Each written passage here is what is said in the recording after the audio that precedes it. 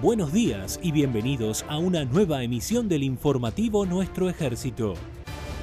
La Escuela Militar de Monte comenzó con el curso de especialista en combate en el monte, con la finalidad de capacitar al personal de oficiales y suboficiales como combatientes especializados en el ambiente geográfico particular.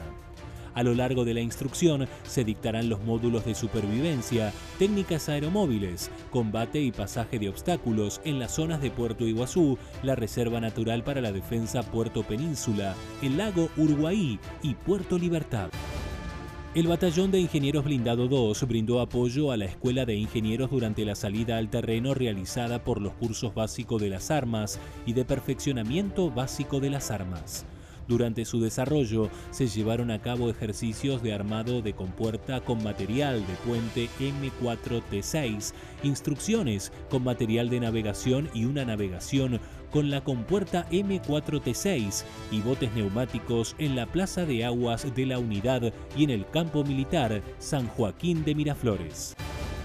el Regimiento de Caballería de Tanque 7 desarrolló una instrucción específica de adaptación y mantenimiento de vehículos de combate para el personal del Comando de la Brigada Blindada 2 y de la propia unidad, que sirve por primera vez en elementos equipados con vehículos de la familia TAM. El gobierno de la provincia de Santa Cruz expresó su agradecimiento al Hospital Militar Río Gallegos por el trabajo y el apoyo que realizó el nosocomio durante la pandemia de COVID-19.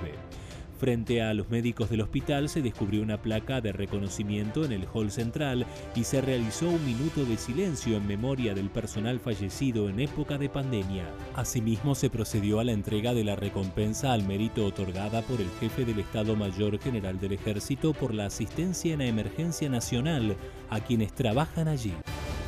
En el mes de marzo del corriente año, en las instalaciones de la Escuela de Aviación del Ejército se dio inicio al curso de instructor de vuelo. Del mismo participan oficiales del Ejército, la Armada y la Fuerza Aérea Argentina, logrando un curso de capacitación y perfeccionamiento conjunto. El mismo tiene como objetivo proporcionar al oficial herramientas intelectuales, técnicas y psicofísicas para impartir instrucción de vuelo, calificando y habilitando aviadores o pilotos de ejército a las distintas aeronaves de dotación en la fuerza.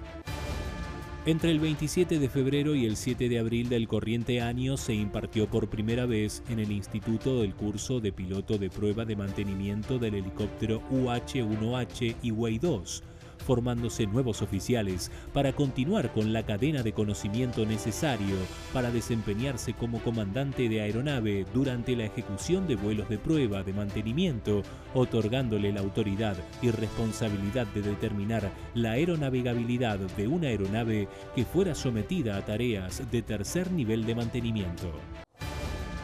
Gracias por acompañarnos en esta edición del informativo Nuestro Ejército. Hasta la próxima emisión.